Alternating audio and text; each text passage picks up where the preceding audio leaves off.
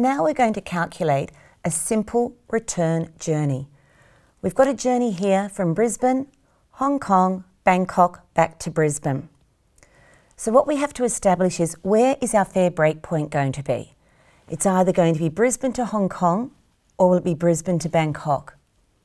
The way you establish a fare break point for a return journey is to try to break your journey at the city with the greatest MPM from origin. So what I've done down here for you, I've written down a fare from Brisbane to Hong Kong and Brisbane to Bangkok. You'll notice I've written down the NUCs here for you. That's a return fare and I've halved it. Because I thought while I'm looking at my fare in the companion fare manual and I'm looking at my MPMs, let's write it all down at once. So Brisbane to Hong Kong, the MPM is 5181 and Brisbane to Bangkok, the MPM is 5434. So the greatest MPM is Brisbane to Bangkok. So what is a good idea when you're working out your fares is put a line under there, Bangkok. So our outbound fare is calculated as Brisbane to Bangkok and our inbound fare, we look it up also as Brisbane to Bangkok because we're always working on half return fares from your point of origin. So we look up a Brisbane to Bangkok, Brisbane to Bangkok. I've already looked up the fare for you. So this was an economy class journey. So the full return fare, halve it, and I've got my fare here. Next what we'll do is we'll put our fare onto the fare calculation ladder. Just an important point to remember, your fare break point is at the city with the greatest MPM, not the greatest NUC. We're now going to put our fare onto the fare calculation ladder. The fare basis for this journey is F, which is first class. So we've got outbound journey is Brisbane to Bangkok. EH, the NUC I've looked up for you. Now remember with the NUC, when you're working on return journeys, if a return NUC is published, you need to look up the return NUC and halve it. You know it's a return NUC because it has an R at the end. So half of the return is 2857.96. We've got our MPM. Our TPM is lower than the MPM, which is great. It means we don't need any EMMA. There's no new TPM. Our journey is in on miles. So our total NUC remains the same as our outbound NUC of 285796. And for the inbound, you'll see it's the same. It's also a Brisbane to Bangkok.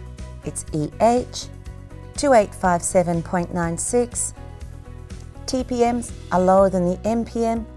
We're in on miles, so 2857.96. Now this journey went via Hong Kong, and Hong Kong has a security tax that needs to be included on tickets because it's actually commissionable. And anything you see written on a ticket, an agent earns commission on. So this tax in your notes, it's all the information is there. It's shown as Hong Kong $33. To get that into a NUC, you take the Hong Kong 33, divide it by the Hong Kong rate of exchange, which I give to you, and that converts into a NUC of 4.23. So I'm going to show you now and try and put this, how this would all appear on a ticket for you. And see if we can get this in. So I gave you the carriers. So we're flying Brisbane on Cathay to Hong Kong, on Cathay to Bangkok. This is where we show the Q surcharge. That's a Q. It is a Q, 4.23. Then we're going on, coming, we've got the NUC from Brisbane to Bangkok. We show in on miles, 2857.96. And coming back home, it was QF, back to Brisbane, Gain that was in on miles, 2857.96. We then write NUC to show our total NUC. So we add up all our NUCs to get a total NUC, and that comes to 5720.96. I'm sorry, 0.16. That's me, I can't read my own writing. And we have to write the rate of exchange we're using. The rate of exchange. The rate of exchange converts a NUC into a local currency. Our local currency is Australian dollars because it's a fare from Brisbane. The rate of exchange actually changes four times a year, but we're going to use the one rate of exchange, or ROE, the whole way throughout all our exercises. So our rate of exchange is 1.356208. Rate of exchange times your NUC equals AUD. So 5720.16 times our rate of exchange equals AUD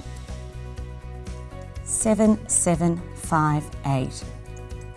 With your fares, remember always to round up to the next whole dollar. This fare probably came to 7757 point a decimal place, so I've just rounded it up automatically to the next whole dollar of AUD 7758. When you're showing all this information on your tickets, your AUD is going to be slightly over here. I'm just out of room today. So that's how we put all this information onto your fare calculation ladder.